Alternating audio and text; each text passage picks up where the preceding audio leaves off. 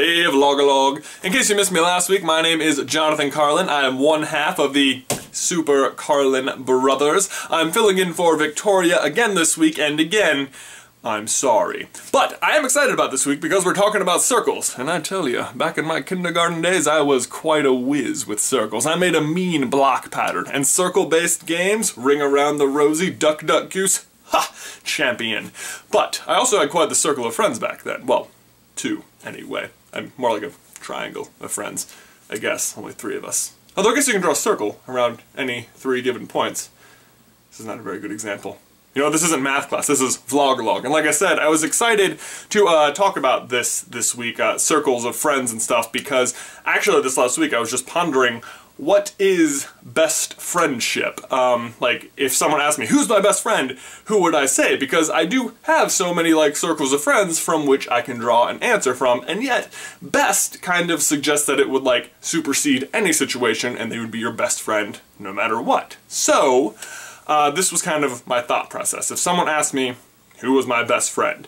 Well, the honest answer is probably my girlfriend, Beth, who I spend most of my time with on the weekends. I talk to her every single day. I probably know her better than any other human I know on the planet. And yet, I don't think that's really the answer you would be looking for if you asked me who is your best friend, because she's my girlfriend. I mean, it's almost a given that she's my best friend. It's kind of like, yeah, but but who, but who, but who else, right?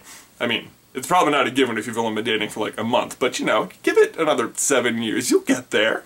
Um, so then the next obvious answer feels like my brothers. Plural, I know that's still not best. Best suggests one, but I think you can have a, a group of best friends that all acknowledge one another.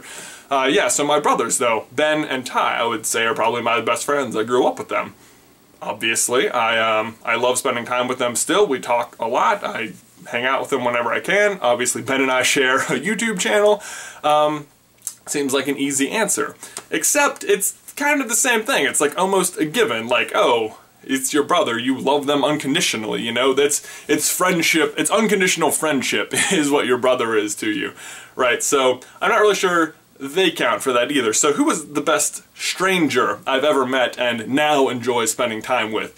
Um, I, again, this is more of a group. Uh, it's still an easy answer, I think, for me. There is a, uh, group of friends I have from high school. Actually, Ben is a part of it, but it's me, Ben, and two other guys, Mike and John. We are collectively known as the Green Mallard Association, which makes no sense because none of us have anything to do with ducks or hunting or anything like that. We chose a color and an animal and a, a word for a group, and I don't know, it just stuck. So we're the GMA, as it were.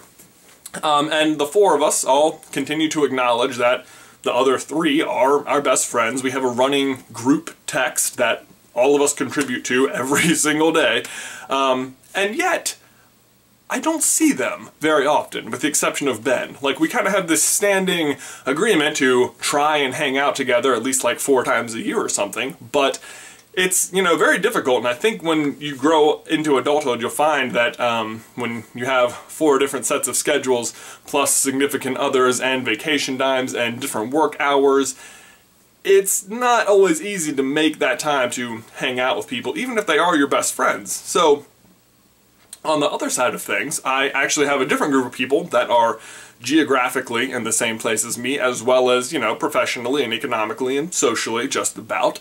And I see them all the time, and I really enjoy hanging out with them as well, and it's much easier to plan to do things with them, and I get a lot more uh, FaceTime with them, and it's like a, a, like a building relationship, so I don't have the same history, the same crazy stories with them, but I do see them much more often, and I actively will, you know, can hang out with them more, so I don't know, it's you know, they're, they're, yeah, they're my best friends. They're they're great. I love hanging out with them.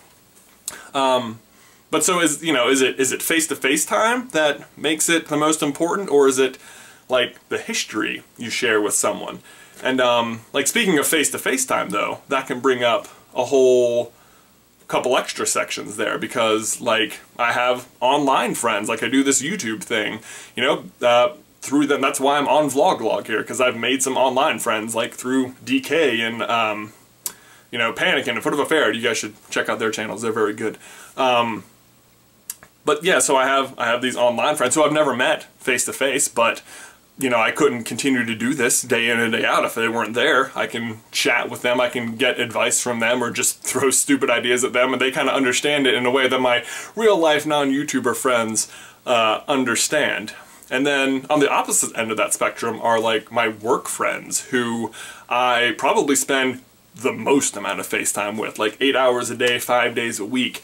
And they're my friends, I'm friends with them, but I don't really do much socially with them per se. I mean, and even if I do have a friend at work who I do a lot of social things work with, um, I've noticed that if they stop working where I work, we tend to not spend nearly as much time together, even outside of work.